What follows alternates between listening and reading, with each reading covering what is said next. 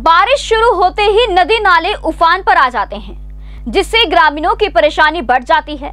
करीब दस हज़ार से ज़्यादा आबादी और दर्जन भर गाँवों के बाशिंदे दशकों से नदी पर पुल की मांग कर रहे हैं। उदासीन सरकारें ग्रामीणों की इस मांग को गंभीरता से नहीं ले रही।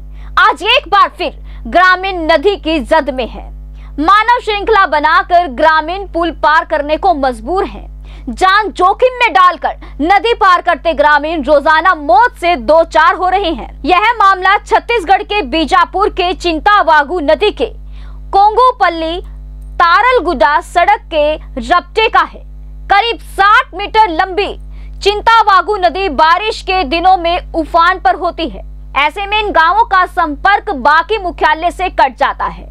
रोज़मर्रा की ज़िंदगी पर भी प्रतिकूल प्रभाव पड़ता है। क्षेत्रवासी दशकों से यहाँ पुल की मांग कर रहे हैं जिस पर सरकारी नुमाइंदे उदासीन हैं, जिसका खामियाजा क्षेत्र में मौजूद दर्जन भर के दस हज़ार से ज़्यादा ग्राम वासियों को भुगतना पड़ रहा है। बीजापुर विधायक विक्रम मंडावी का कहना है कि ग्रामीण लंबे समय से इस रपटे पर पुल बनाने की मांग कर रहे हैं।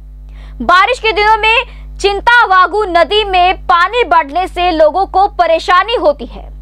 ग्रामीणों की परेशानी और ज़रूरत को देखते हुए बहुत जल्द कोंगोपल्ली तारलागुड्डा रपटे पर पुलिया स्वीकृत का कार्य प्रारंभ करवाया जाएगा। बता दें कि यदि कोंगोपल्ली तारलगुड्डा सड़क के रपटे पर पुल बनती है तो कोमटपल्ली, मिनकापल्ली भट्टीगुड्डा लोडेड, कोतापल्ली सनकना मेटूपल्ली गुबलगुड्डा उसका लेट गाँव के ग्रामीणों को सीधा लाभ मिलेगा।